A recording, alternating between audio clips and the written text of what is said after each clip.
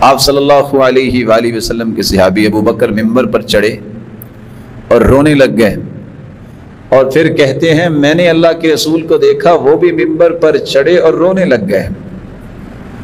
اور فرمایا اس اللہ العفو والعافیہ۔ لوگوں اللہ سے عافیت کا سوال کیا کرو۔ فإن أحدا لم يعط بعد اليقين خيرا من العافية. ایمان اور یقین کے بعد عافیت سے بڑھ کے کوئی نعمت نہیں ہے۔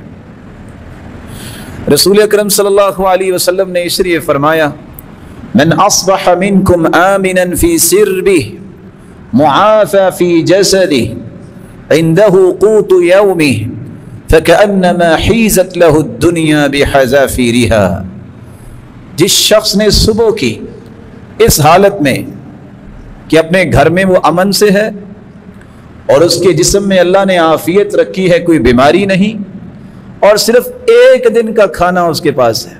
امن ہے، عافیت ہے، ایک دن کا کھانا ہے۔ اس انسان کے دامن میں تو اللہ نے پوری دنیا کی نعمتوں کو جمع کر دیا ہے۔ رسول اکرم صلی اللہ علیہ وآلہ وسلم نے دیکھیں کتنی اچھی بات کہہ دی۔ جب کوئی مسلمان ہوتا تو سب سے پہلی دعا یہ سکھائی جاتی کہ عافیت اللہ سے مانگو۔ اسلام کے بعد اللہ کے رسول یہ دعا سکھاتے، کہو، اللہم مغفر لی، اے اللہ میرے گناہوں کو معاف کر دے۔ ورحمنی مجھ پہ اپنی رحمت کی برکھا برسا دے۔ وحدنی اور مجھے ہدایت دے دے۔ اور ہدایت پہ ثابت قدمی عطا فرما۔ وعافنی اللہ میں مسلمان ہو گیا ہوں، مجھے عافیت سے نواز دے۔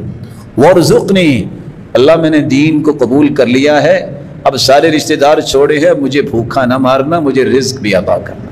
تو اسلام قبول کرنے کے بعد جو بنیادی دعائیں سکھائیں ان میں عافیت کی دعا پہلے دن ہی سکھا دیتے۔ اس لیے ہر مسلمان کو عافیت مانگنی چاہیے۔ اللہ کے رسول صلی اللہ علیہ وآلہ وسلم نے اس لیے فرمایا، عافیت کی دعا تمام دعاؤں سے افضل ہے۔